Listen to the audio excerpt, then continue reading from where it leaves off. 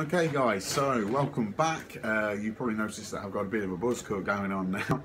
Um, the reason I haven't uploaded anything for a while is because I've moved house, I've got married, I've made had to create a whole new workshop and everything. So I'm basically getting on with that, but I'm going to be uploading all different sorts of things in the future. So uh, there'll be a lot more workshop designs coming up, which should be great. So the first thing that I've actually created is my workbench, and I needed a workbench which would um, save space, but also have a lot of space for me to work on because I like a big area to actually lay down all my boards and everything.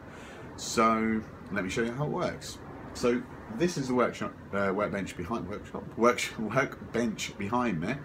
Uh, as you can see, you've got these runners uh, these are, I suppose, the hinges. Um, these two things here, and I've got this frame. So I'm going to show you a couple of bits about it and show you how it works. So the frame itself, actually, the jeans are falling down.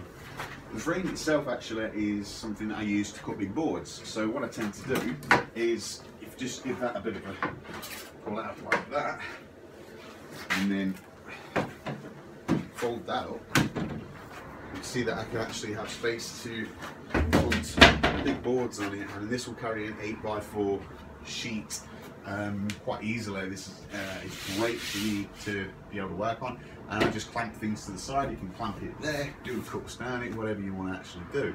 Uh, and the best thing about it is that, as you've seen on here, it just folds down and tucks away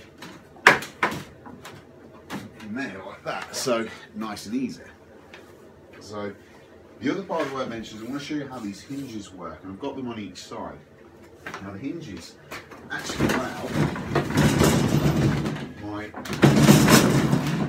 workbench, which is a four foot workbench, to extend to an eight foot workbench. Uh, very, very simple design, and I can show you a little bit more about that, or you can comment and ask me any questions that you want on it. So the next part I will show you is this new design of a um, sliding fence, which obviously hides under the second part of the table. And all I've got is these little screw caps, uh, these washers here, and this runs in recessed runners just here and here with a little bit on the bottom of this piece of wood. And that just slides up and down. And you can obviously tighten that up with these nuts it makes it so it's not actually going to move anywhere. So that's a new design of mine.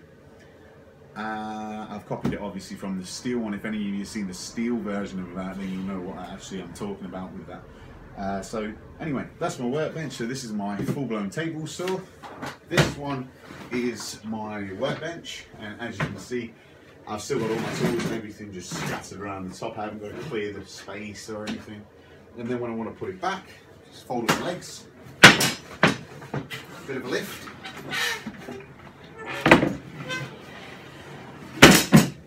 And we're back to a four foot workbench, which have a handle on the side, You can actually roll it around and make life that a little bit easier.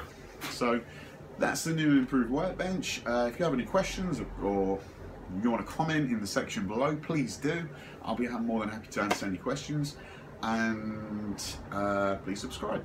So thanks a lot guys.